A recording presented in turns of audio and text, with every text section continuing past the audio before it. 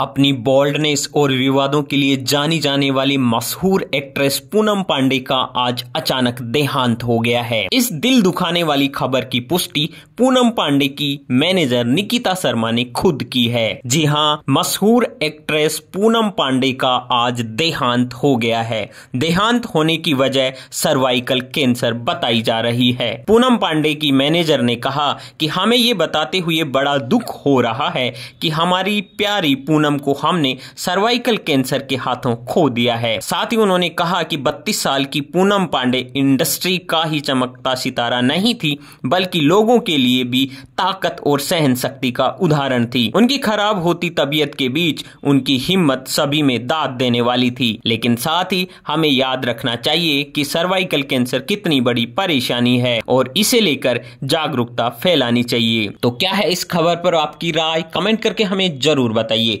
देश और दुनिया की तमाम तरह की खबरों से तुरंत अपडेट रहने के लिए अभी हमारे चैनल को सब्सक्राइब कर लीजिए।